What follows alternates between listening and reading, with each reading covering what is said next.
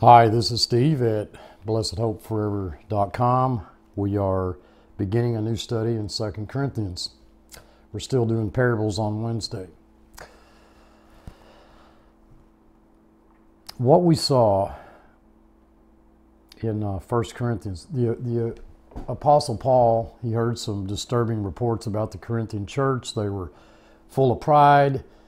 Uh, they were exercising uh, different uh, characteristics that we wouldn't probably typically like to talk about, even sexual immorality. The spiritual gifts were being used uh, improperly. There was rampant misunderstanding of key Christian doctrines. The uh, Apostle Paul wrote his first letter to the Corinthians in an attempt to restore the Corinthian church to its foundation. That foundation being Jesus Christ. The church was plagued by divisions. The believers in uh, Corinth were dividing into to groups. I'm of Paul, I'm of Paul, Apollos, and so on. They were loyal to certain spiritual leaders. Paul exhorted the uh, Corinthian believers to uh, be united because of uh, their devotion to Christ. Many in the church were essentially approving of an immoral relationship. Uh, things that I, we would just, you know, be hesitant, hesitant to even talk about. Paul commanded them to expel the wicked man from the church. The Corinthian believers were they was taking each other to court and so that we, we saw instructions on how that it would be better to be taken advantage, just outright be taken advantage of than to, to damage their Christian testimony. Paul gave, uh, in the first epistle we saw, Paul gave the Corinthian church uh, instructions on marriage, uh, on celibacy, uh, food sacrificed to idols, uh, Christian freedom, uh, the veiling of women, uh, the Lord's Supper, spiritual gifts, uh, and the resurrection, the gospel. Uh, the gospel is definitely seen in that in that epistle.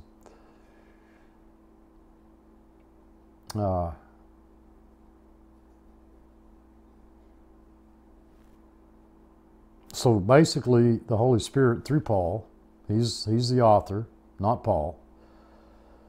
He was responding to all that conduct, that impro, imp, improper conduct, all the beliefs that they had accepted, the false beliefs and stuff. And yet, despite all of the rebukes and all of the corrections,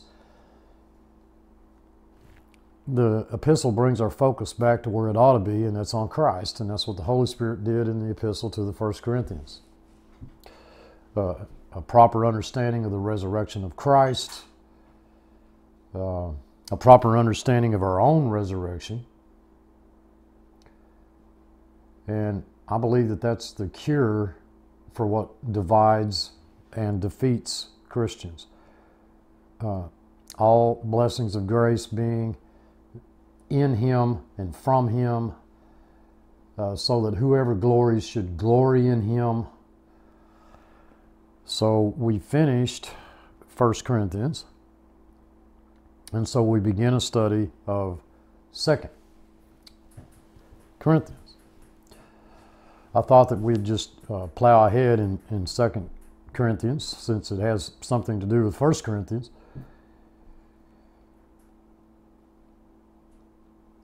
There were there wasn't very many years difference in time between the writing of 1 Corinthians and the writing of 2 Corinthians.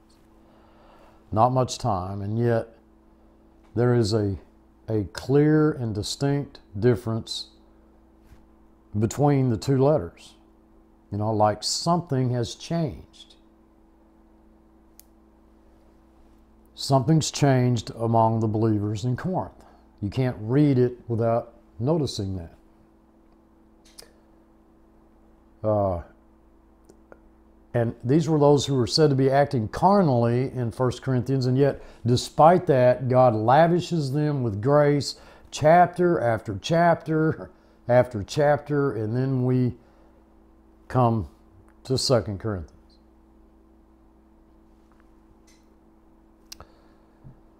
I am sure that there are those much more qualified than I am who could actually spend hours discussing with you some of the the technical problems of First and Second Corinthians, the uh, particularly of Second Corinthians. Uh, there's a, a great number of theories on on why that is. That there are uh, there there were there are many that don't believe that Paul wrote much of it. Some don't even believe that he wrote any of it. And I, for one, believe that dearly beloved, the, that the Holy Spirit wrote them both. So, so there's lots of arguments among Christians, among particularly in the educational institutions and Bible scholars over all of the problems uh, relating it to 1 Corinthians.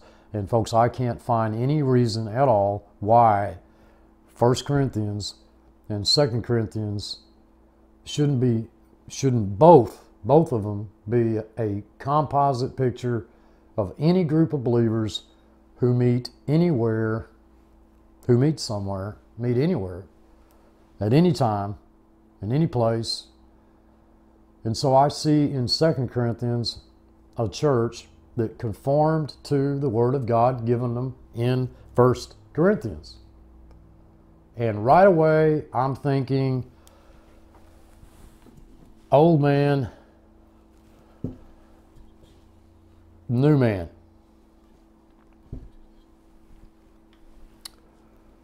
I uh, I thought I'd amuse you by uh, by doing this. This uh, I'll uh, try to put a picture on the screen of this. I, really want to spend some time here in this introductory to Second Corinthians in uh, talking about us having come out of First Corinthians into Second Corinthians uh, and how that what I clearly see is uh, what I can't help but see is old man, new man. And we spent a lot of time talking about that. I don't see why that the two epistles can't both be a composite picture of any group of believers who meet anywhere. You know, don't say, well, my church isn't carnal and that church is carnal. I think that's that's not what we're seeing. I see in 2 Corinthians a church that conform to the word of God given them in 1 Corinthians. And that makes me think old man, new man, carnal, fleshly, new man, spiritual, new man. Uh, I cannot convince myself that the problems at Corinth were unique. Whereas, you know, I, you know, I look at the Ephesians and I say, well, you know, now there's a super group of Christians.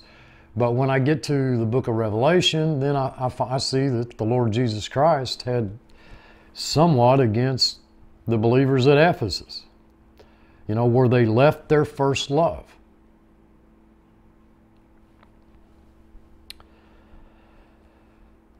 God the Father begins addressing naughty children but he doesn't do it the way that we might have.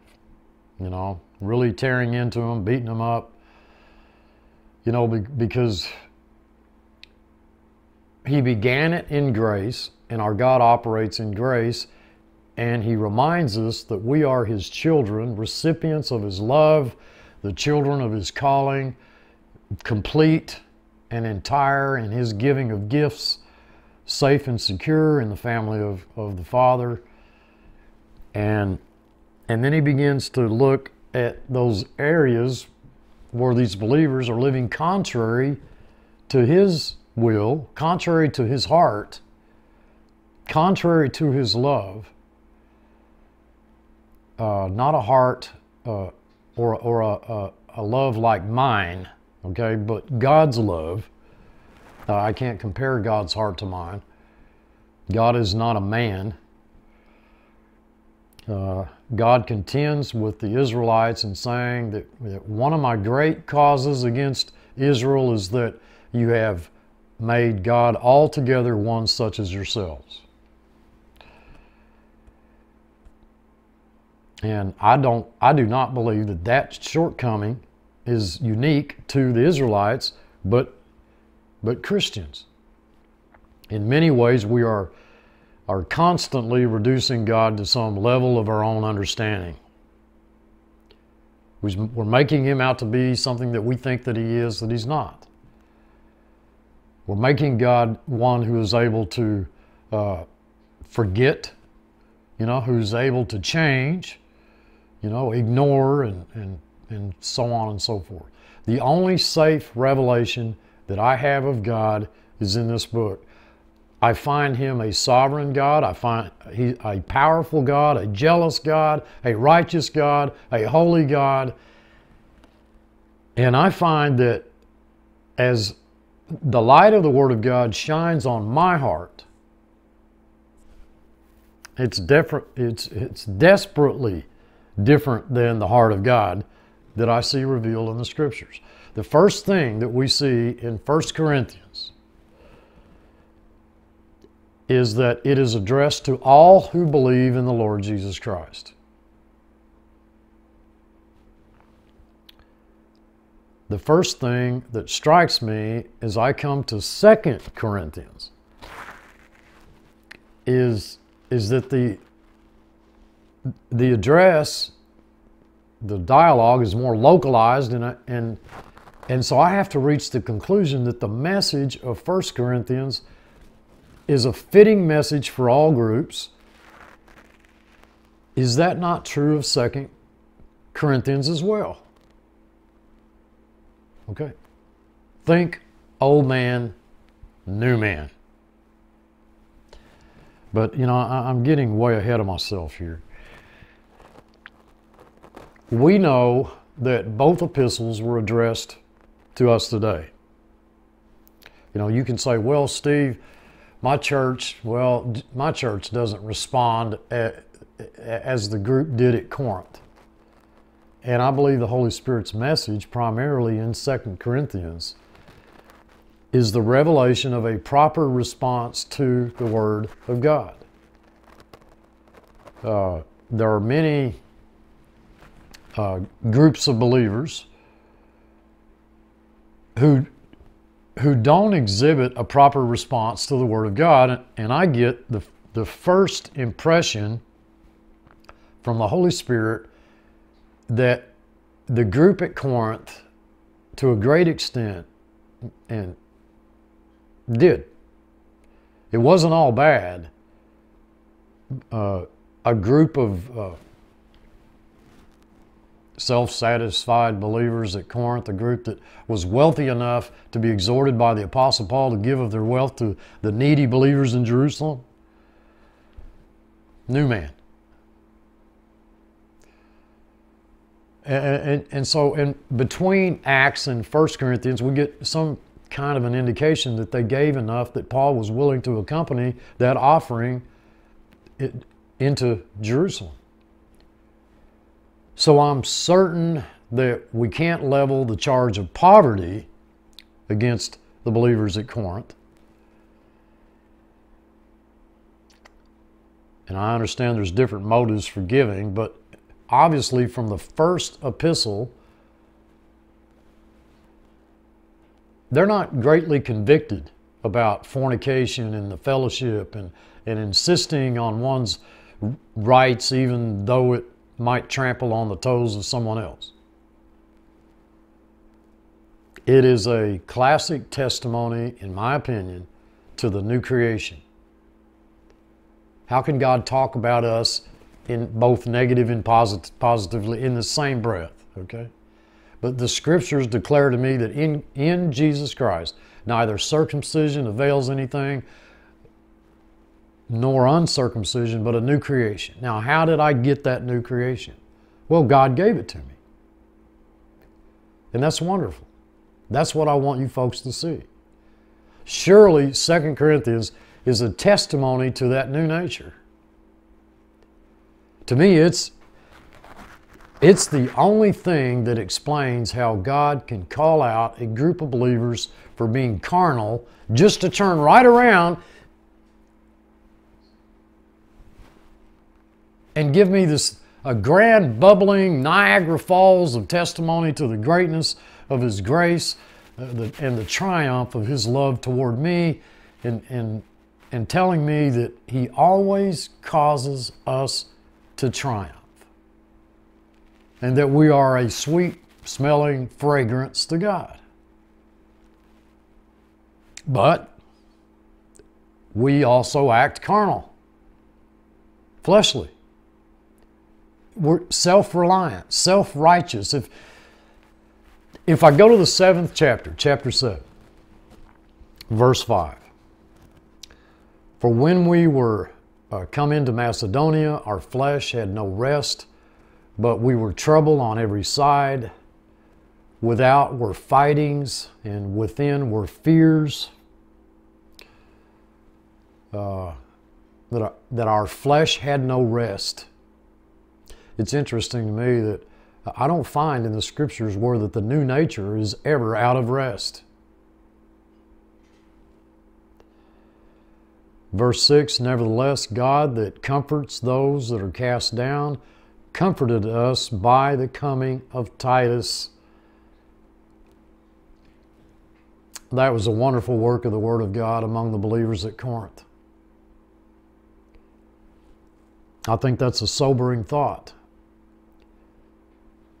that it meant more to Paul that those who know and love the Lord Jesus Christ,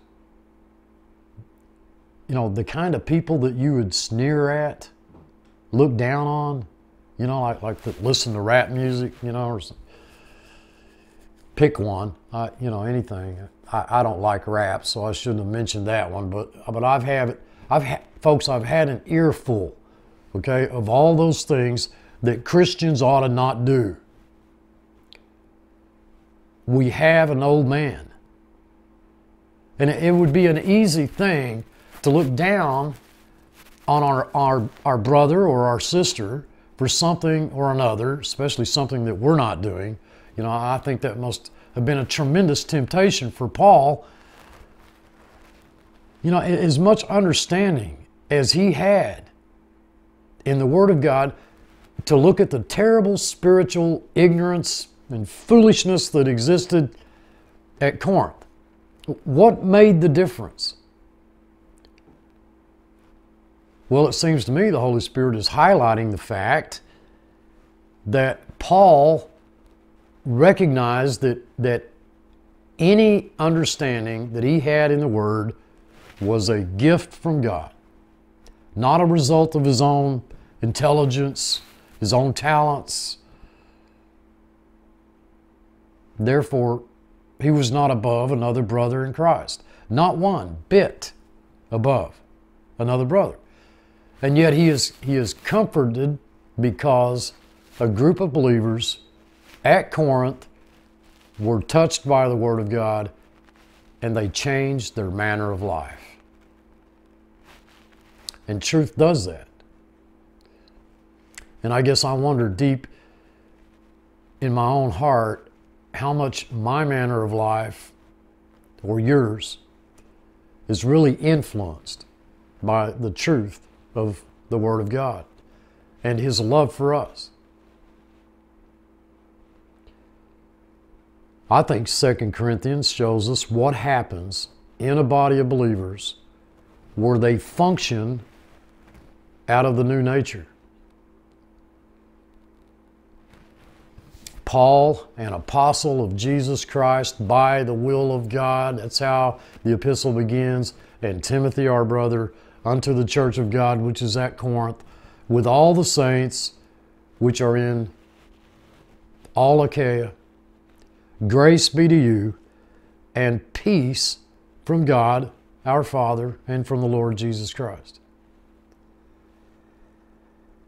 The revelation is clear anyone who picks up this epistle knows the background. How did Paul become an apostle of Jesus Christ? Well, because God knocked him down on the road to Damascus. He wasn't certainly looking for Jesus. And revealed himself to him and told him, I will show him how many things he must suffer for my name's sake. That's how he's an apostle. Not because he decided to do it, to become that. You know, in the third grade and, and he trained for it. And, and then he couldn't hardly wait or whatever, you know, until he got old enough to become an apostle. Come on, folks. God intervened in his life, and he's an apostle by the will of God. And the believers at Corinth needed to know. They need to know. I need to know. You need to know that you are what you are because God put you there. Okay? I don't know what God's teaching you. But am I to sit back and criticize you when I don't know what God is doing in your life? You are acting fleshly, and at some point, God intervened in your life. Your life may look like a disaster to me, and maybe to you. I don't know. But I know that my God is faithful, and I praise God that I can rest in an expression like, by means of the will of God. Folks, that is not uh, some excuse for laziness. You know, which is pretty much what, you know, the old man. I don't find my life with my Heavenly Father a whole lot different in some respects than with my earthly father. You know, except, well, you know, my earthly father never, uh, or my heavenly father never makes any mistakes. And he always operates in love and grace. There were times when I was, I was certain that uh, my earthly father was not operating in love. But there are other times, as I look back on them, I know that He was. But my Heavenly Father always operates in love. I believe Paul rested in the will of God. That pushed him a long ways on his, on his journey, folks. We're in chapter 1, verse 1. The Lord willing, we'll continue every Sunday.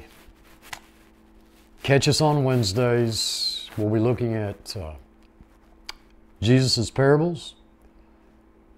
I love you all. I truly do. Let's close with a word of prayer. Father, we are thankful for thy word, for the privilege and the opportunity that we have to study it together. We long to grow in grace and knowledge of you. May the Lord Jesus Christ be glorified, for it's in his name we pray. Amen.